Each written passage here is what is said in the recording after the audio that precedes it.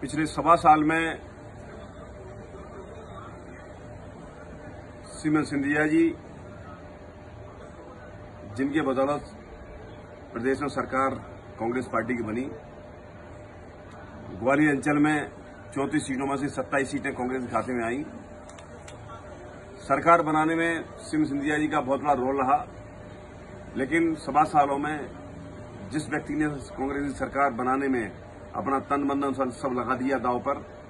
उस व्यक्ति की उपेक्षा करने का काम किया गया उसका अपमान करने का काम किया गया। निश्चित तौर पर सिंधिया जी हमारे नेता हैं और जिनके आशीर्वाद से मुझे तीन बार टिकट मिला 2008, 2013 और 2018 आज विधायक हैं तो निश्चित तौर पर सिंधिया जी का बहुत बड़ा योगदान आशीर्वाद हमारे साथ है। तो जिनके आशीर्वाद से तीन बार मुझे टिकट मिला हमारा नैतिक दायित्व है। कि हम हर फैसले में सिंधिया जी साथ रहें। सिंधिया जी, जो भी निर्णय करेंगे, उस निर्णय में हम सब उनके साथ हैं। और हम किसी दबाव में नहीं है। हमारे नेता सिंधिया जी है। सिंधिया जी का निर्णय हम सबके लिए अंतिम निर्णय है। निश्चित तौर पर उम्मीद करते हैं कि आने वाले दिनों में सिंधिया नेतृत्व में इस प्रदेश की प्रगति विकास के लिए, ग्वालियर ज़िले की प्रगति विकास के लिए जो हमारी अपेक्षा है, जनता की, वो पूरा करने का काम करेंगे। लेकिन हम सब